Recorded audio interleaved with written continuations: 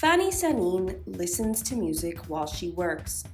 A variety of compositions, from folk music to classical music and the atonality of Béla Bartók, accompany her own improvisations rendered in acrylic on paper. These are her studies, of which several are completed before she moves to canvas, each group of sketches variations on the same formal theme. Sanín's brushstrokes, while visible in these sketches, are not perfunctory. Each study is considered, the results meditative.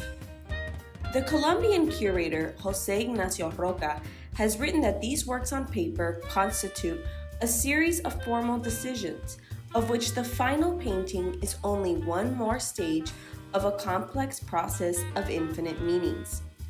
Though Sanín's finished canvases have a high degree of finish, they follow from a process of composing and recomposing that could have unfolded in another way at another time.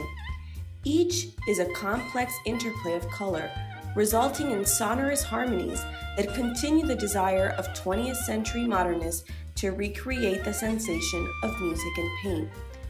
The sketches are improvisatory and fluid, even as Sanín's final compositions approach an architectonic and classical grandeur.